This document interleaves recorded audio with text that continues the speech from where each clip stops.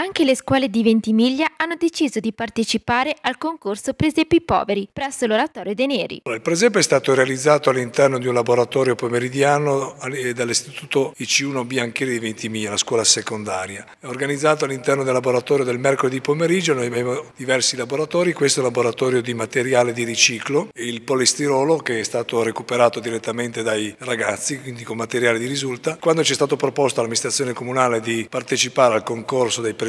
per quello abbiamo immediatamente aderito accogliendo l'iniziativa con grande vigore e il professor Natale Pierrotta che è responsabile del laboratorio insieme a degli alunni della prima, della seconda e terza media hanno realizzato questo prodotto finale come potete vedere tutto realizzato con le loro mani polistirolo, legni raccolti, dipinto a mano direttamente dai ragazzi. Sono un insegnante dell'Istituto Biancheri di Ventimiglia, mi occupo insieme al professore Pirrotta del um, laboratorio di polistirolo, un laboratorio finalizzato a educare i ragazzi al riciclo dei materiali più poveri e più semplici come quello appunto del polistirolo. Insieme a questi ragazzi che è costituita da una classe mista abbiamo intrapreso un percorso finalizzato alla realizzazione di questo presepe. Abbiamo quindi valorizzato gli aspetti legati proprio alla nostra cultura, abbiamo appunto eh, coinvolto i ragazzi non soltanto nella reperibilità del materiale eh, di base che abbiamo utilizzato, ma anche proprio nella, nella pittura. Fino al 6 gennaio, infatti si concluderà questo concorso dei presepi poveri che abbiamo aperto